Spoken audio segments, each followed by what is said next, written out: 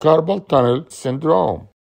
The clinical picture of carpal tunnel syndrome usually the patient will complain of pain, numbness, and paresthesia in the palmar aspect of the thumb, index, and long finger.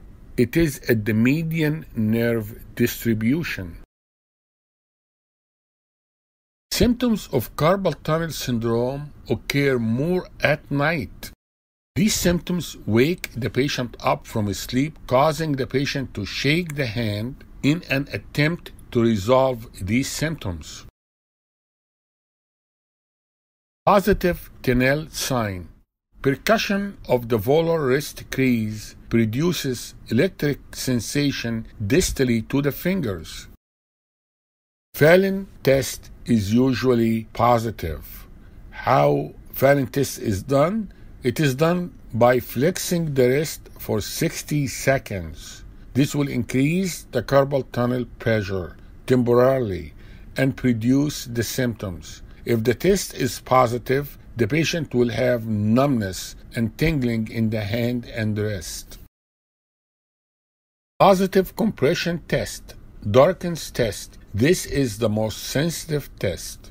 The examiner places even pressure with two thumbs directly over the patient's median nerve in the carpal tunnel for about 30 seconds.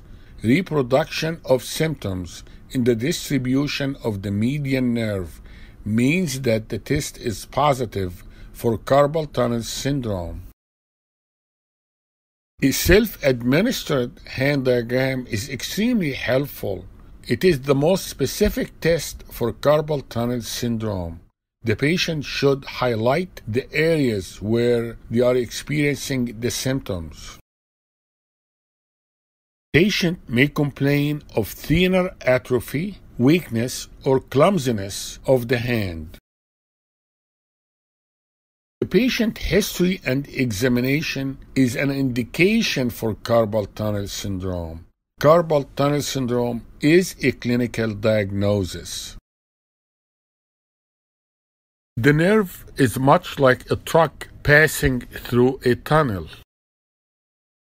The nerve should be able to pass through the tunnel with ease and without friction.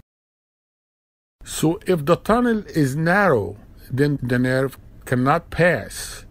And if you want the nerve to pass, then widen the tunnel. And we widen the tunnel by cutting the transverse carpal ligament, as you see here in this example.